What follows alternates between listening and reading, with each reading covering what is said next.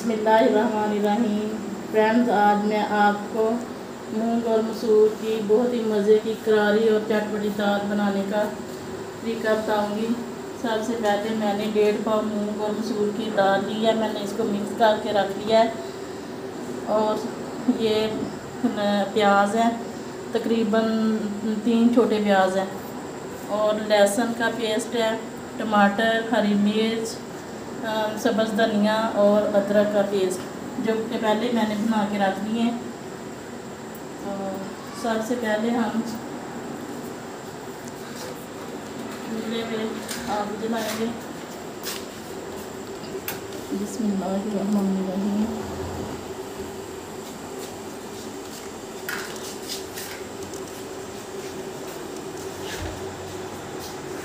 बिस्मिल्लाहिर्रहमानिर्रहीम अब मैं इसमें दो चम्मच ऑयल के डालूँगी।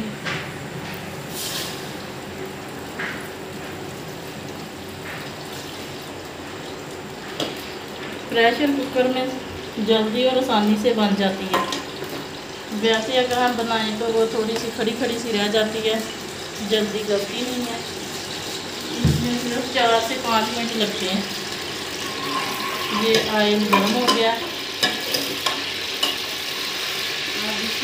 डालेंगे डालेंगे। प्याज। प्याज डालने के बाद थोड़ा सा इसको ब्राउन कर लेंगे।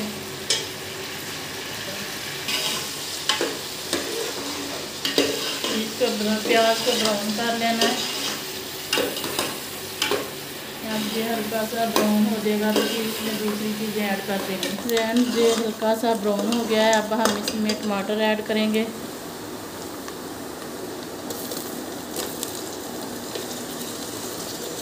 ये मैंने टमाटर डाल दिए हैं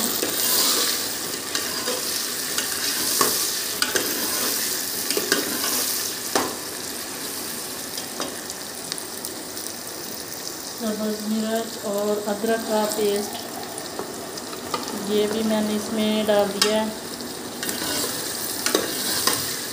अब इसको अच्छी तरह भून लेना।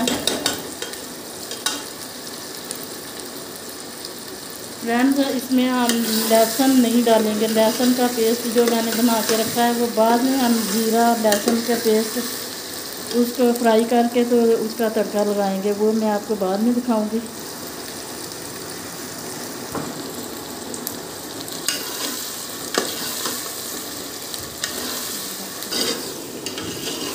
अब मैंने इसको एक से डेढ़ मिनट तक भून दिया। अब हम इसमें सुरख मिर्च डालेंगे। तकरीबन दो चम्मच सुरख मिर्च।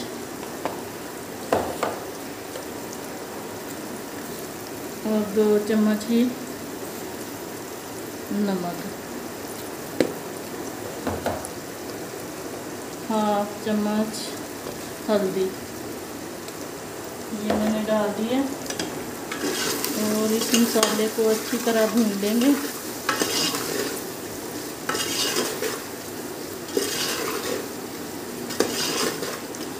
फ्रेंड्स आँच बिल्कुल हल्की रखनी है। ना ज़्यादा हो, ना ही कम हो, दरमियानी सी आँच।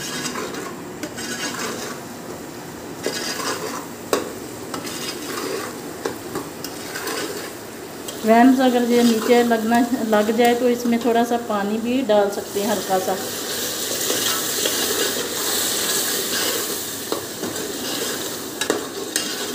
ये देखें मसाला अच्छी तरह भुन गया है। टमाटर जो हैं वो गल चुके हैं। बड़ी मज़े की खुशबू आ रही है।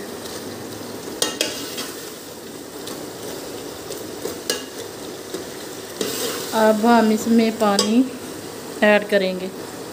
बिस्मिल्लाहिर्रहमानिर्रहीम। मैंने एक से दो माग इसमें पानी। बिस्मिल्लाहिर्रहमानिर्रहीम। मैंने ये दो माग इसमें पानी के डाल दिए। अब ये पानी जब उबलने लगेगा तो फिर हम इसमें दाल डाल देंगे। जब तक पानी को उबाल आता है, हम इसके ऊपर ढक्कन देंगे। जब पानी उबलने लगेगा तो इसमें दाल डाल देंगे। बिस्मिल्लाहिर्रहमानिर्रहीम पानी उबलने लग गया है। अब हम इसमें दाल डालेंगे। ये दाल जो मैंने पहले ही पंद्रह मी, बीस मिनट भिगो के रख दी थी।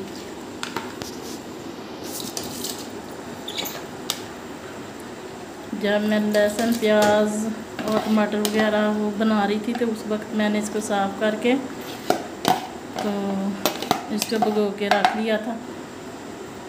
अब हम ये इसमें डालेंगे।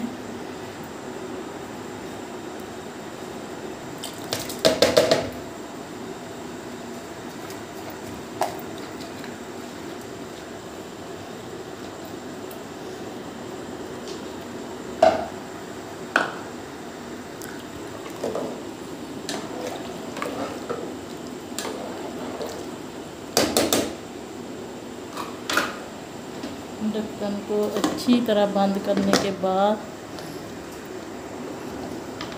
इसके ऊपर वेट रख देंगे। वेट रखने के बाद जब वेट करने लगे तो इसको सिर्फ़ तीन चार, तीन से चार मिनट तक जो है वो पकाना है। फिर वो वेट उतार के फिर हम चेक करेंगे। अब मैंने चूल्हा बंद कर दिया है। चेक करते हैं तो दाल बन गई है। अभी हम इसकी वेट को फ़ौरन नहीं उतारेंगे। थोड़ा सा इसमें जो भाप है वो निकल जाए तो इसके बाद इसको उतारेंगे, वरना वो इसमें से दाल भी ऊपर उठना शुरू हो जाएगी। अब इसकी गैस निकल चुकी है चेक करते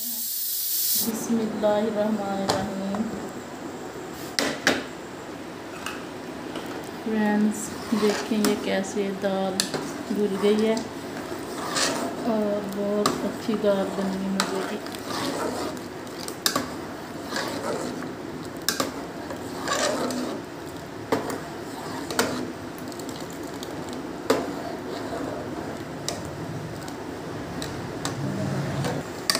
अब हमारी दाल जो है, वो पक के तैयार हो चुकी है।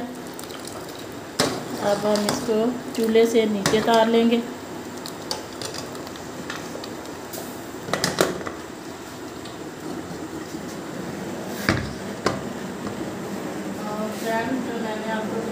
इसको एंड में तड़का लगाएँगे, अब मैंने पैन चूल्हे के ऊपर रख दिया है। पैन हमारा गर्म हो चुका है, अब हम इसमें ऑयल का एक चम्मच डालेंगे। बिस्मिल्लाहिर्रहमानिर्रहीम। ऑयल, बस एक चम्मच ही डालना है, क्योंकि पहले भी हमने दाल में दो चम्मच ऑयल डाला है। अच्छी तरह से गर्म हो जाए। तो इसमें लहसुन का तेल ऑयल अच्छी तरह से गर्म हो चुका है, अब इसमें लहसुन का पेस्ट डालेंगे।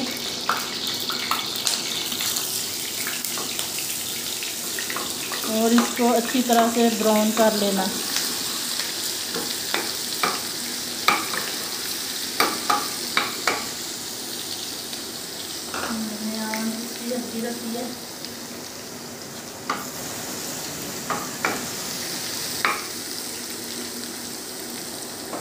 अब हम इसमें एक चम्मच ज़ीरा वो ऐड करेंगे।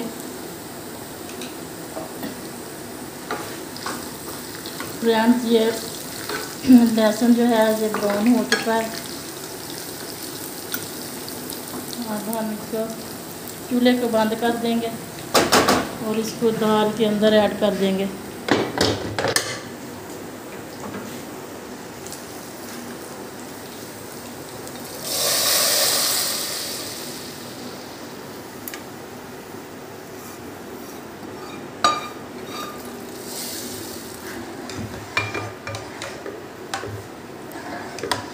ये बड़ी मज़े की दाल बनी है।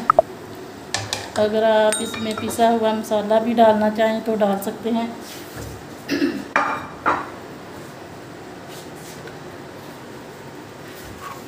ये मैं थोड़ा सा पिसा हुआ मसाला डाल रही हूँ।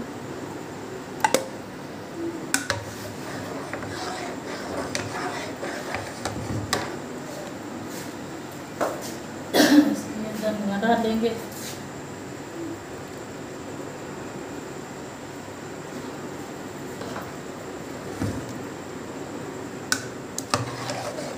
फ्रेंड्स देखें कितनी मज़े की ये दाल बनी है।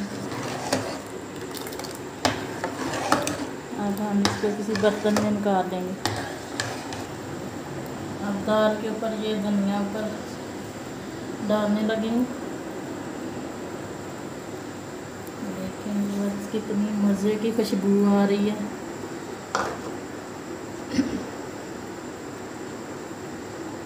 दाल बिल्कुल तैयार हो चुकी है।